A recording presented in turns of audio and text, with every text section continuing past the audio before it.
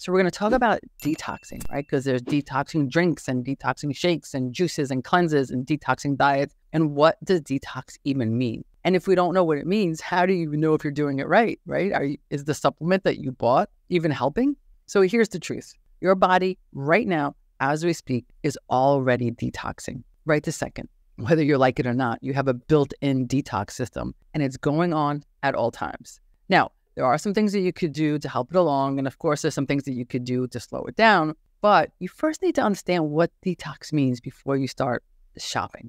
Now, I want to warn you, this particular episode is going to get pretty technical. But for those of you who want to really understand the information, stick with me for this ride because I'm going to make it the best that I can to make it easy to understand. But I really, really want you to grasp the complexity of what detox actually means. If you're watching on YouTube, don't forget to like and subscribe. Like, why not? And if you're listening to the podcast, I have a really weird painting behind me. That's about all you're missing today. So, what is detox? Let's start with a definition. You know, I always start with definition because people throw this word around detox all the time. But what do we really mean by it? So, in its simplest form, detox means to remove the toxin, right? To remove the harmful substance from a system or environment, detoxing, right? Detoxify. So when we're referring to detoxifying, we're talking about the body's process of eliminating or neutralizing toxins that we are ingesting or exposed to. Now, why is this so hard? If I'm exposed to something, why can't my body just get rid of it? Like, why is it so hard? Like, let me just sweat it out or poop it out or urine it out. Like, why can I just drink more water and flush it out? Here's the thing here is the thing that makes detoxifying so difficult. Our blood, our urine, our sweat, and much of our poop is acts like water. The fancy word for that is hydrophilic, water loving. But most toxic substances are what we call lipophilic, meaning they act and behave like fat. So the toxins, they behave like fat, but you have a plumbing system that works on water. And you know that fat doesn't dissolve in water, right? So think of putting oil in a cup of water, it doesn't mix. So the fats, they don't dissolve, they don't come out by themselves, and they tend to stick in the body's fat region instead of getting washed down and flushed away. So, in order to get a toxin out of the body, we need a whole system, a whole internal factory that converts the toxins into something that can be transported in your urine and your stool. This conversion from like a fat soluble, fat like toxin to make it more like water is the process of detoxification. Okay, now here's where we get jumping in and getting technical. There's three phases of detoxification. Phase one, transformation. Phase two is conjugation. And then three is excretion, getting it out. So phase one, transformation, gets the toxin ready. Phase two converts it into water soluble, water like, and packages and makes it ready for excretion, which is the third part, getting it out of the body. Phase one and two, the transformation and conjugation, happen in the liver. The liver is the central processing station for all toxins. We cannot detoxify without it. It's the kitchen that gets the ingredients and prepares them to be packaged out through poop and your kidneys through urine and your skin and your lungs. Okay. So let's dive a little deeper. Transformation. Okay, transformation, phase one. It's think of it like you're running a kitchen, you have all these ingredients, that's your toxins, and you first have to chop them up. Is that's phase one. During this phase, the body picks up these dangerous molecules and starts transforming it into hopefully less harmful products that is starting the process of getting rid of them. So we're talking about alcohol, caffeine, medications, pollutions, food additives, they get chopped up.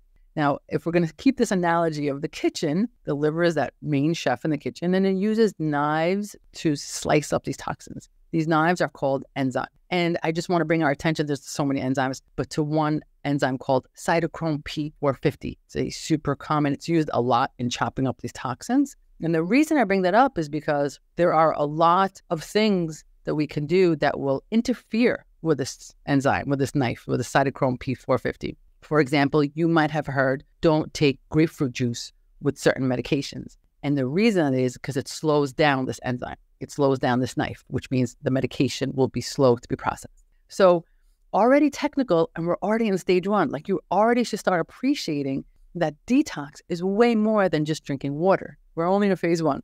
So what's next? So we're chopping up these ingredients, but chopping could be a little messy, right? And sometimes it can make things more reactive, more dangerous. Like think of chopping an onion can make your eyes water, like it's reacting.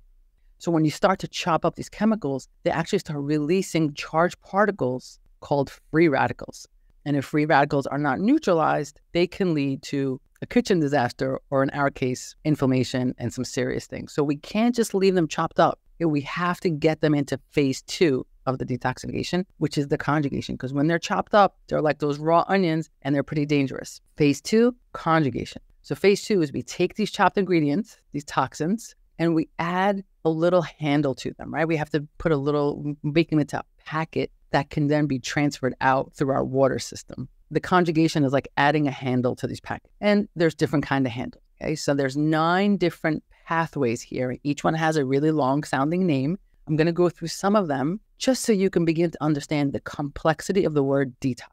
So, sulfation basically means it takes these toxins, adds a sulfur tag to it, and sulfation breaks down hormones, thyroid hormones, neurotransmitters like your epinephrine, your norepinephrine, BPA from plastics gets done with sulfation, triclosan from antibacterial soaps gets there, estrogens gets broken down in this pathway. The next pathway is glucuronidation. I'm trying to keep the kitchen metaphor going. So it's like wrapping up the leftovers in cling film so that they won't spill. And this pathway is in charge of sex hormones, your testosterone, your estrogen, DHEA, more thyroid hormones. It's in charge of some mold. It's in charge of some medications. Next pathway is glutathione conjugation. This one is all about protection. It grabs things that can hurt our cells, like heavy metals. It tries to bubble wrap it as it packages it out. So, glutathione conjugation is in charge of pesticides, herbicides, heavy metals, molds, and other medications, also alcohol. We have amino acid conjugation. That is when you take an amino acid, and that's the handle that's being put on to neutralize. So that's for aspirin, food dyes, nail polish, stain removers, and we're exposed to all that. We have to get it out somehow. Amino acid conjugation does that. Methylation, you might have heard that methylation takes like the chemical leftovers, like hormones and heavy metals, and seals them away in a way that they don't react. So, again, methylation helps with excess estrogen, with certain neurotransmitters, with the phenols found in Botox, with vaccine preservatives. Those have to get detoxified. It also detoxifies certain chemicals that are known to cause cancer, like things in cigarette smoke and dyes and perfumes. Moving on to another Asian, acetylation. Acetylation, again, it's trying to get these leftovers, these broken up toxins and take them out. Acetylation works with, on caffeine, tobacco, histamine, serotonin, and other carcinogenic things, things that cause cancer. I know there's a lot of words and I know it's a long list, but I want to show you how phase two has all these different pathways that take these toxins and help get them out. Now, for phase two to really happen, you need specific nutrients in your food, which we're going to talk about in a bit. But missing these nutrients actually affects the detoxification process, and toxins can build up in your body. What I really want you to get is how complicated the word detoxification is. Okay. Like, what is that? People just throw it around. They have no idea how complicated it is. Let's move on to phase three elimination, getting it out of the body. So, this is your body's garbage disposal system, right? Its main job is to escort the package that we made in phase one and phase two and get it out of the body. This is the exit strategy, whether it's stool formation or urine formation or sweat formation. Sometimes we breathe it out. These are all the ways to get out what we processed in phase one or phase two. Some questions, something that might come up to you as we're talking about is, well, if my body detoxifies all the time, why do I even need to support it? Why do I need to do anything? It's it's doing it on its own.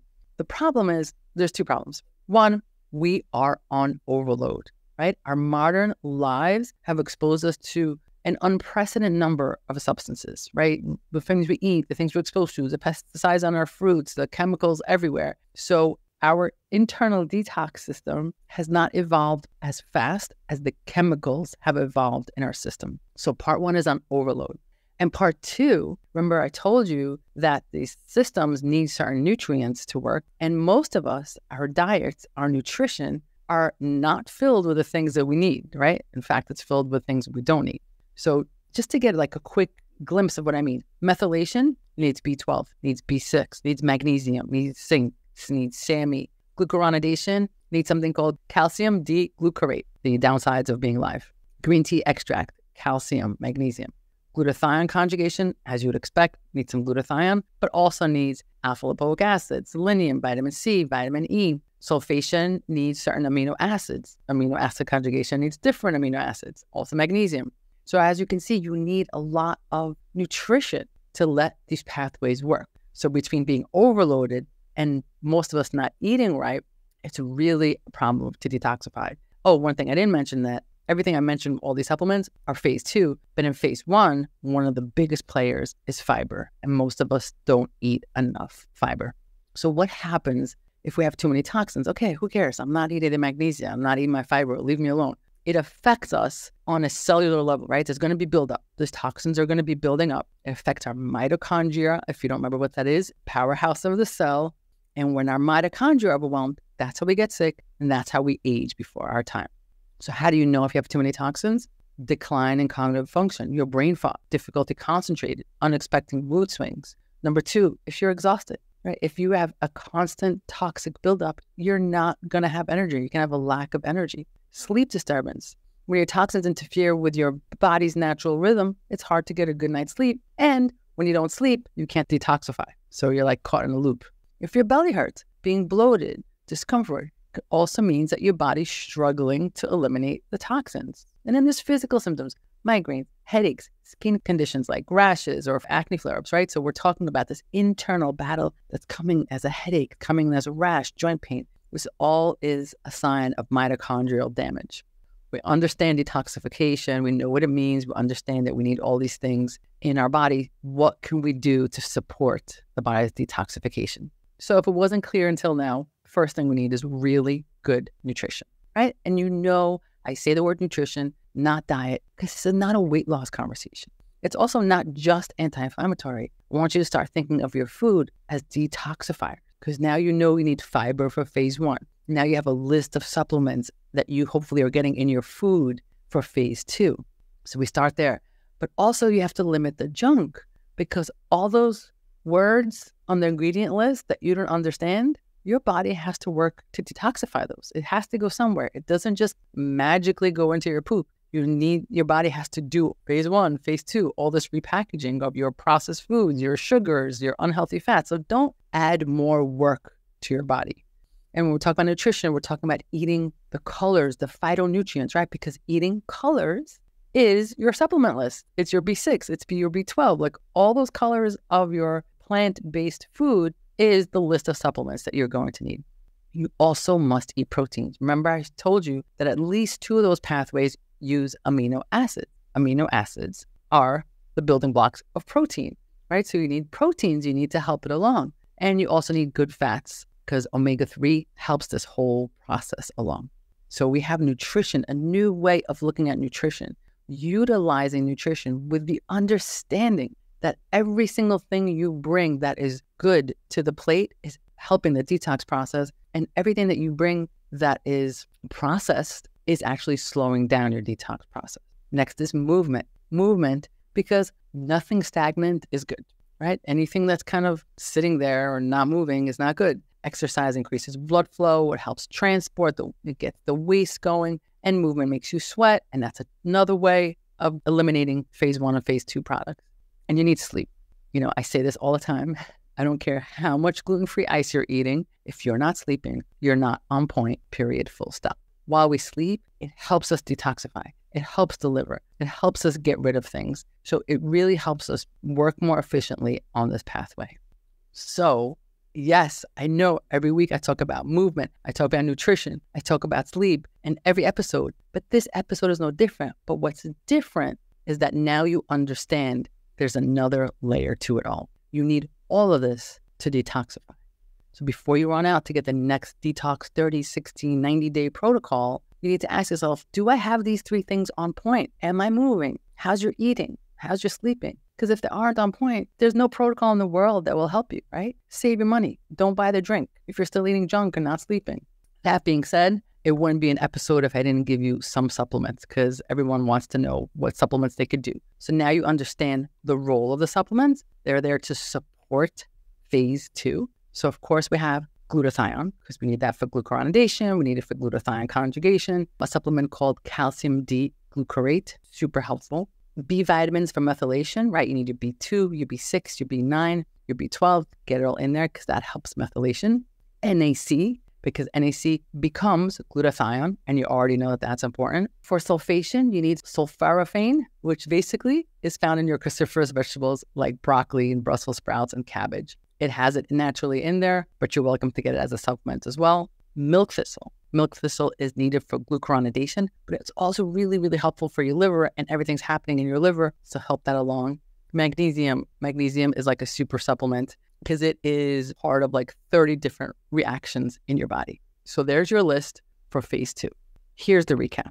Next time someone throws around the word detox, I want you to raise your eyebrows and be like, do you even know what you're talking about? Like, don't just say that word. No, drinking water is not the answer. I mean, it's important, but that's not the whole answer. Because now, now you know after this episode, now you understand how complicated that word really is. Our body is amazing and has a built in detox system. And most of it does occur without any intervention. But with a world that's increasing in toxins by the second, our systems can become burdened. So now we understand how to support our body's detox process. And I want you to know that before you go and get any protocol or magic drink, I want you to know that the real detox happens by making the right choices every day, all day. And of course, if you want to work with me and my team, or if you want my free course, just go to the website or to our links or anything at the Knew Method and get started on your journey. Why? Because you always knew there was a better way. I'll see you guys next week.